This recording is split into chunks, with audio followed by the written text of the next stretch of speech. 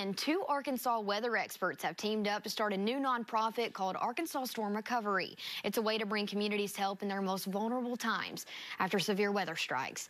Today I caught up with Zachary Hall, Arkansas storm chaser, who explained the why behind the nonprofit.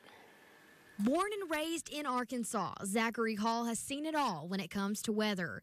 Tracking storms in his home state is his passion. I've always been a huge weather nerd. I have a huge passion for weather. I was born here, raised here, I live here, and I want to help Arkansans in any way I can. And if that means not only preparing them, but helping them after the fact, then I'm all for it. Hall travels all around the state and to nearby states as well when severe weather strikes.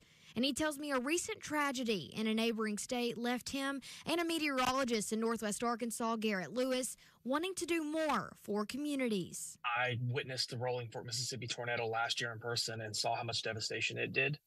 And then we had the tornadoes in northern Arkansas in May. Over 20 lives were claimed during that tornado in the small town of Rolling Fork, Mississippi, and 10 in the recent tornado outbreak in Arkansas. Hall saw firsthand how the March 31st tornadoes in both central Arkansas and Wynne devastated local communities. Me and Garrett are really good friends, and Garrett brought to me this idea um, about a recovery program or something, a nonprofit that we could do here in Arkansas specifically because we're both from here and when he said that, I mean, I was all over it. Now they have created a nonprofit organization called Arkansas Storm Recovery. Sometimes uh, we, when we have weather-related disasters, sometimes people really don't know where to go or what to do, and we do have some great resources already in place.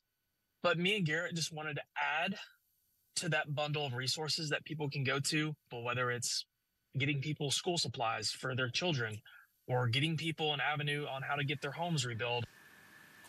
Hall said they are now collecting donations for school supplies for kids in Rogers that were impacted by the tornado in May.